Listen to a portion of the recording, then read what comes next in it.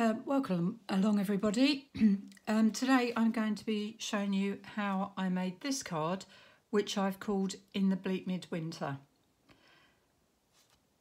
So we'll get started. I've used two stamp set collections for this. Um, seasonal branches, um, you can see the two branches I've used.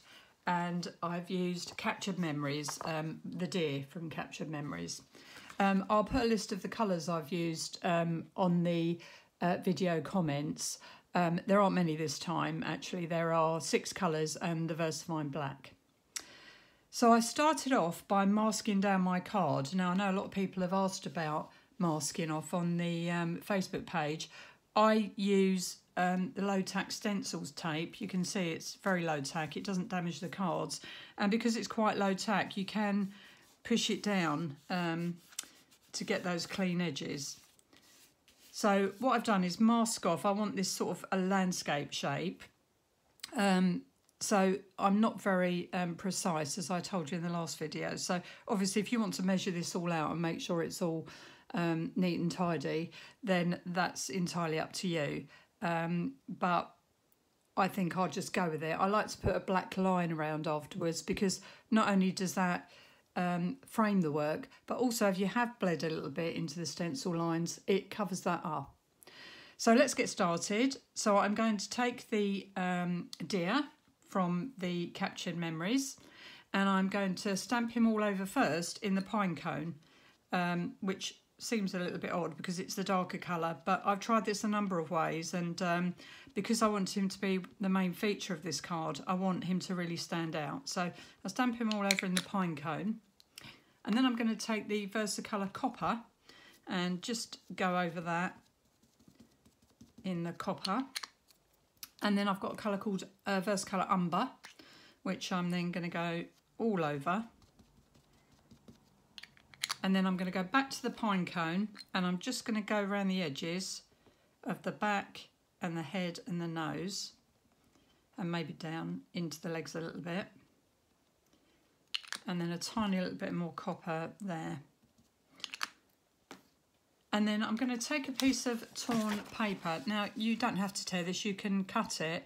But I find when you're stamping things, um, animals and things, you get a more natural look if you tear it. So I'm going to place that about there because I want the deer to be central to my card. So I'm going to place it about there and then I'm going to put the deer about there. And I know some people have been worried about the deer because um, he's right in a snowdrift, but I can assure you all, no harm was uh, made to any animals making this card. So um, I call it an artistic license. So again, like I said to you before in the previous videos, just let the ink take to the card a little bit um, some cards are more porous than others, so and we've put quite a lot of ink on this one. So, and then we lift that off, and there we have the image of our deer. Now, if the image hasn't come out, you know, you haven't got the light and shade, you can always add that in afterwards. And um, I think I probably will go over this slightly um, afterwards. So I take that away, and you can see what I mean. You've got sort of quite a natural um, image there where um, the legs are in the snow. So what I'm going to do next is put in the background of this um, deer because I want it to be um, a snowy landscape and for this I have cut um, a piece of copy paper like I did before.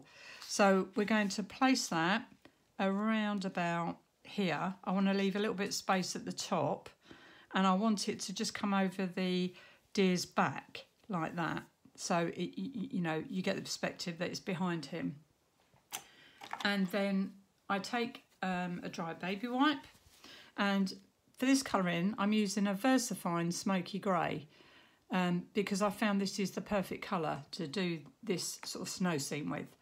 Now as I showed you in the other visit video what we do is we take a little bit on our dry baby wipe and then we rub off because we don't want it to be too dark. And then we just create a very gentle line where I've um, where I've got the edge of the copier paper and then avoiding the deer's ears. And again, like I said to you before, if you're if you're nervous about going over the things you've already stamped, make a little mask and just pop it over. Um, you can do that with the low tack tape on uh, Wendy's website. So then I'm just going to add a little bit more. Try not to move the stencil um, because I, I want this to be obviously quite a defined line. And we can always lift it up and have a look so you can see there. I think I'm going to just make it a little bit darker. So go back over it.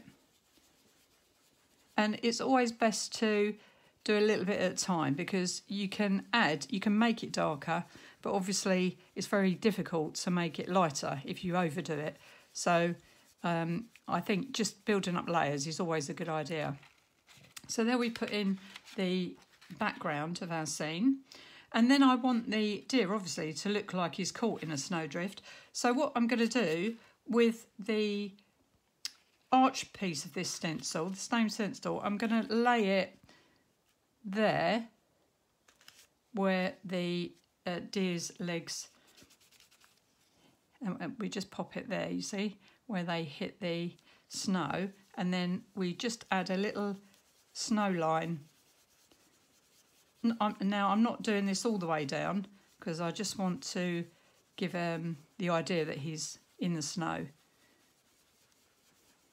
And then I'm just going to add a little bit more and I'm going to make it a little bit darker where where his legs are because obviously they're um, uneven. So, and we'll just take a look at that. And I'm going to move that down a little bit more to get the front legs. And then we just go back over it like this. Take a little bit more ink on my dry baby wipe.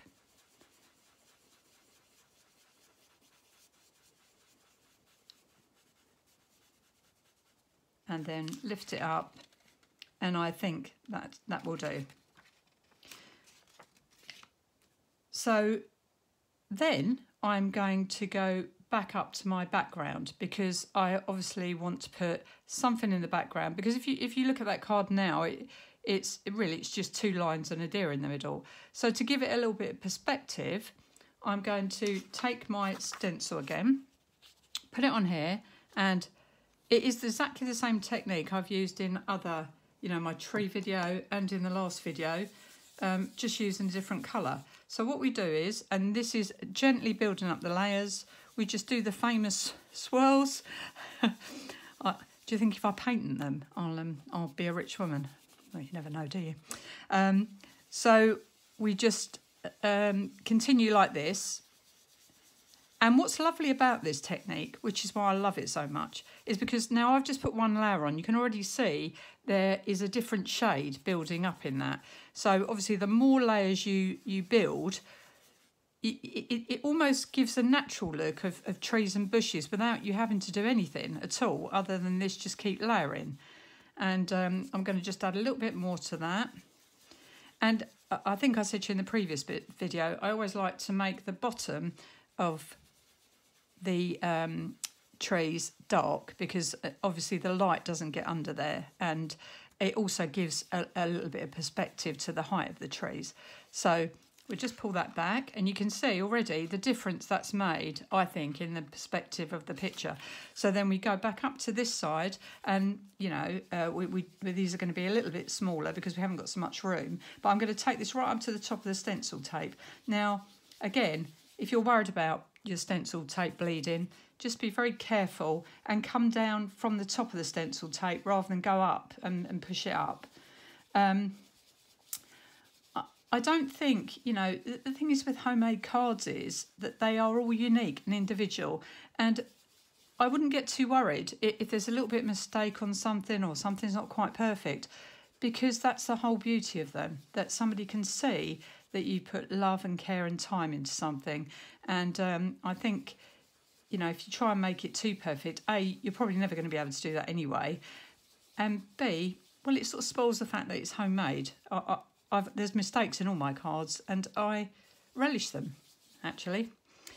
So there you can see um, the other side and then I'm just going to add some um, darker contrast again to the bottom there and create a little line um, as if they were trees and then just go up a little bit like that.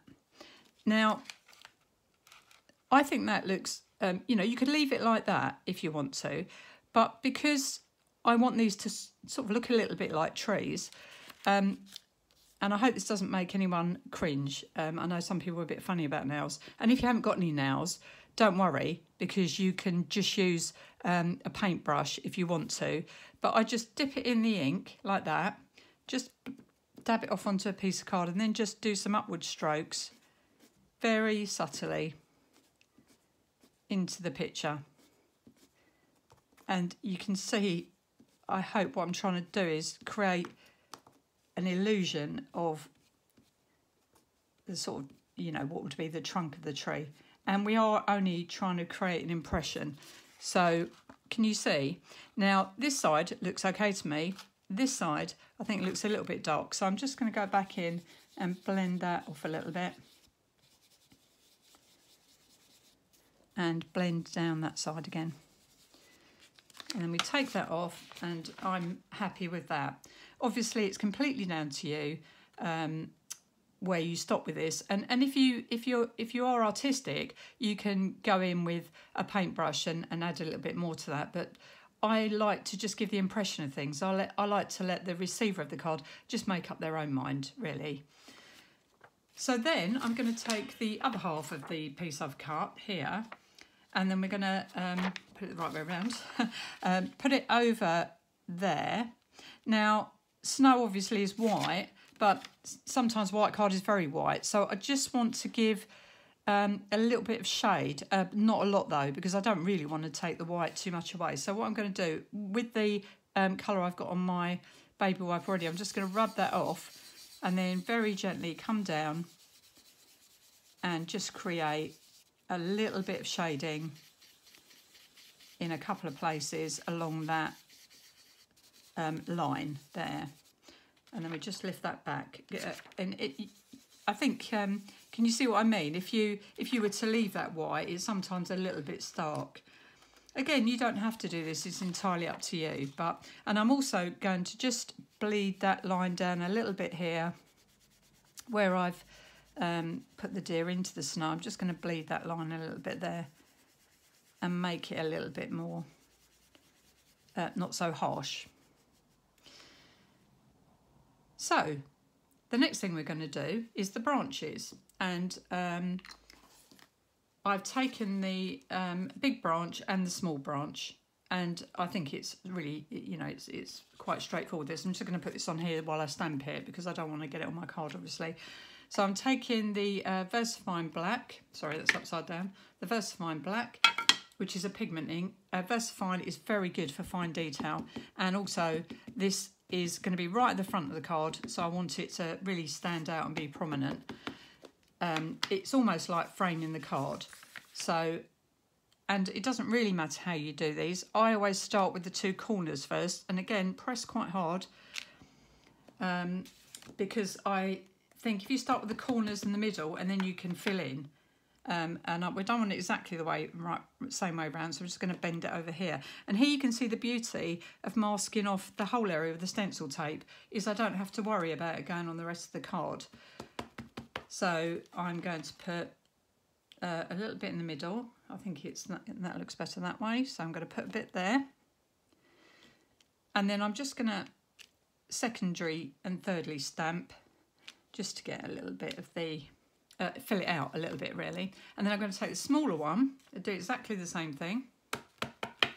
And uh, obviously fill in where you can see little gaps and um, areas that you want to fill in yourself. Now this is purely your own decision. And don't forget, the only the only disadvantage with having stencil tape on is you forget none of this here is going to be in your actual finished card. So make sure you're looking here rather than the whole thing. So I think we'll have another bout there. And I quite like a bit going there. And I think uh, coming in from that side too, there. And maybe one more there, and there. So we've got um, the main body of our card here. Um, and then what I'm going to do is I'm just going to put a tiny, now this sounds really odd, a little bit of pink in the background here. Because when you're doing a, a, a winter scene like this, it's quite difficult to think what skies to put with it. So I think I'm using this Versacraft pink and it's called Bubblegum, which I know you're all thinking, oh my God, bright pink on the sky. But what we do, like I've told you before, just take a little bit onto the dry baby wipe, rub it off, and then we're just going to go in very gently around the deer. Just to give a slight suggestion of the sky without really a little bit more sorry um, I didn't pick up enough on my baby wipe there and then we blend that in really well. And I'm only really putting it in the well there in the gap between the trees. And then I'm just going to take a clean section of baby white and just rub it right in. So you can hardly notice it, but I do think it, um, again, just adds to that idea that you're looking at the um, horizon when you look behind. So I'm said to you before that I'd like a little bit more colour on the deer. So I'm going to take the pine cone again. I'm going to just take a tiny bit on the baby white. And again, be very careful. Just um, as, as, I said to you before, you can always add on. It's so that you can't. It's very difficult to take off. So we're just going to rub a little bit there and on the back and back up onto the head. And I'm just going to go in with that again. And if you you know, if, if you if you don't think you can do this without um, smudging the card, again, use a little paintbrush or um, or don't even bother because you know, I think the deer looks fine as it is. I'm just, um, you know, I like to add a little bit of contrast because um, the the deer is our main feature in this. Or you know, practice on a piece of paper before you stamp your deer, and decide you know the best way to ink it to get the most impact. Um, you know, I think we all do that. And then when you're actually making the card, it doesn't always come out like you hoped it would. But the, you can always rescue it by just going back over like this.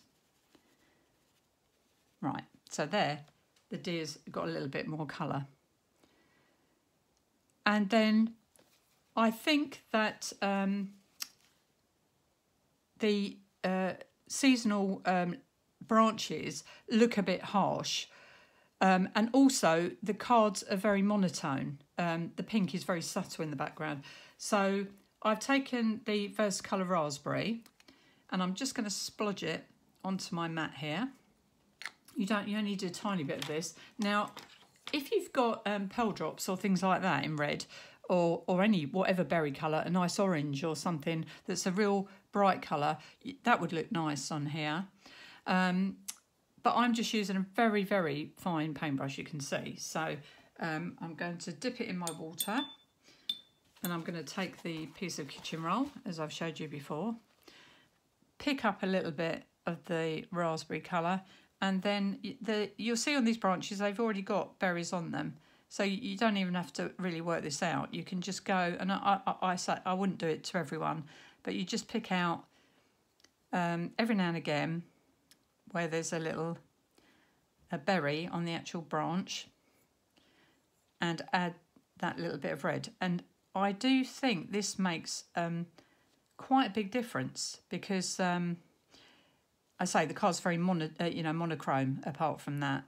Um, and also it's subtle enough, although it's adding that nice bit of colour, it's subtle enough not to take anything away from our deer um, because after all, uh, she's the main feature of this card. So I'm just going to add a few more, but you get the general idea. Um, and also, you know, in, in, the past when I've made cards like this, I've added little gems, um, especially at Christmas, because you get that lovely um, sparkle, or even glitter glues, um, anything you have in your crafty stash. Um, but if you haven't, if you're just starting out and you've only got a few inks, then th this is an ideal technique. And it, you know, I say it can be any colour that's bright. Um, it's your card, you choose. Or if you know somebody likes a particular colour. Um, and then when you've done it, just take a look at it and think, is there, you know, is there one bit that I've missed out? Like there maybe, and uh, maybe a little bit down here. Right, so I'm just going to rinse that brush out. And then take a look at your card.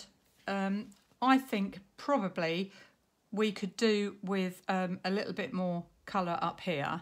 So I'm just going to take a little bit more of this um, VersaFine, the smoky grey, and dab it off, put my mask back in place. And obviously if you're going to do this, make sure your colour's dry. I'm just taking a risk here because obviously I want to be quick, but I just want to put a bit more colour in the bottom there. Like that.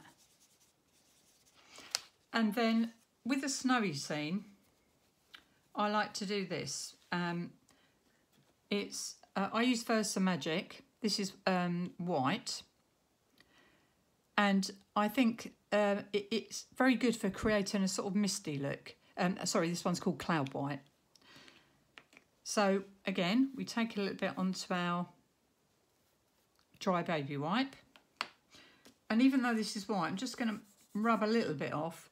And then I'm just going to go very gently over the top of the trees. Now, can you see already the difference that's making? It, yeah, be very careful with this because it's um, it's quite um, it's got it's quite good coverage.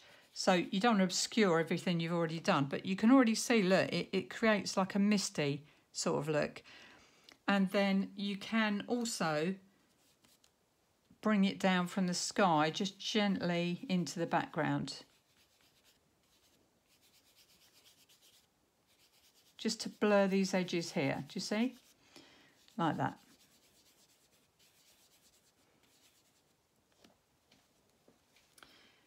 And then just because I told you about the paintbrush technique on the trees, I, I, will show you that. So just splodge again a little bit of your darker colour onto your mat. Again, I'm taking the very fine paintbrush, getting rid of the raspberry colour that I had on it. And then, and I've told you this before, but it is quite important, always dry off onto um, kitchen towel because um, card, you know, if you get water on the card too much, it will just ruin the card. It will start to bubble up and then the top layer of the paper will come off and you'll ruin your work. So, um, and then just make little upward strokes like that. Can you see? Just to give the impression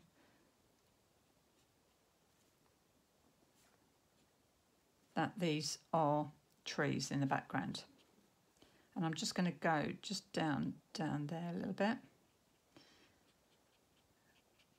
And with um, with a paintbrush and water if you find they're too thick then you just go back in smudge it again and then take your the clean bit of your kitchen towel and go over it like that.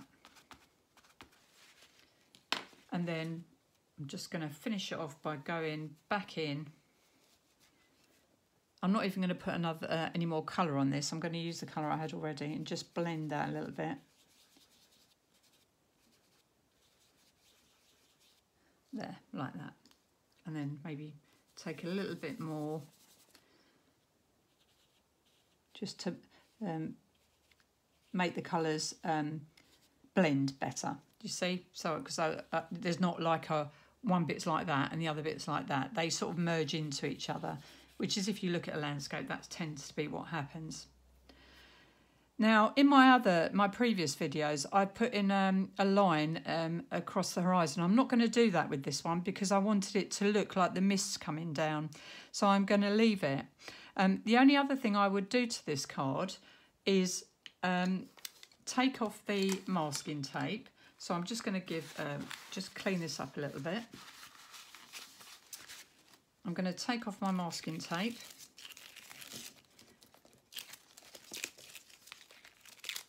And now you can see what I mean about it's only printed where, you, where you've um, had it unmasked. And you get that lovely crisp finish. And then what I like to do, and this is a good tip, if you find that you do get a lot of um, bleed from whatever tape you're putting down, um, I take a fine liner, and this one is uh, 03. It's a little bit thicker than the ones I've used before. And then take a ruler, or you don't have to use a ruler for this. You can do a wiggly line. Um, I'm not very good at, at that. I have tried it, but I, I, I, don't know. I tend to jerk when I do it, and then I end up with a great big line down there. So, um, but if you like doing that, and they do look lovely, I've seen um, I've seen lots of cards with that on. Um, then that, by all means, you know, do it your own way. And then I'm going to mark off the top again, making sure my ruler is fairly straight. Um, again, you know, nothing's ever perfect, is it? So if you want this all perfect, you can measure all the edges um, when you put your tape on. But like I said before, frankly, uh, life's too short for that. So then we add this line down here. Now, a bit of a tip, if you if it's really bled, just use a thicker pen because the thicker you make this border, the more sort of 3D it looks. It, it, it's lovely actually. I've I've um, I found that out by accident. Um, so you know you can go really as thick as you like. Now you'll see on here that that's coming down a bit further than that, and that's gone on there. So I'm going to try and at least match that up. I'm not too worried if it's um, if it's, you know, I'm not going to go right down the bottom again, but I'm going to put that line there. Now, if you see there, I don't know if you can see that, but there's a little bit of the red that's come over that line. So what I'm going to do is just go a little bit further up and put in another line, which is really what I meant by just make it thicker. Not only does it cover up that, but it doesn't make any difference to the picture. In fact, if anything, I think it just enhances it. And then because I've gone right down, and I've, I've sort of done this on purpose to show you that this little technique um, will, unless you've gone really, it's really badly bled through the tape, you see, it will just cover up that. So don't despair. If you lift off after spending hours doing a card, you lift off the masking tape and find that that's happened to you, then try this rather than throw the card away. And then I'm just going to do the same here because I've gone over the line on this one as well. So I'm just going to add that line in there. And I quite like it like that with the two sides um, thinner. But if you wanted to even it up, you could add, you could do, you know, make the lines either side thicker. And then for those that didn't see it on the other video, I've got a smudge here. Um, I showed you last time that the way I get rid of smudges is to use a very fine piece of sandpaper and just rub that on the offending area. And as I said before, do this when your card is completely finished because it takes a layer of the paper off. So you don't really want to, and then a clean babe, pop, either a clean bit of the baby wipe or a clean baby wipe, and then it's gone. So that's the finished card. Um, I think we would probably add a little eye in here just to, and I like to add a little bit of a nose there. And you'll notice on the cards that I post on the um, Facebook page, I don't tend to put sentiments. Now, there's two reasons for that. Firstly, um, I like to keep a stack of cards and um, if you, so if I, for example, if I was to put a Christmas message on this, I couldn't use it for anything else. So it means that you've got, you know, um, you've got the opportunity to use this card for different occasions.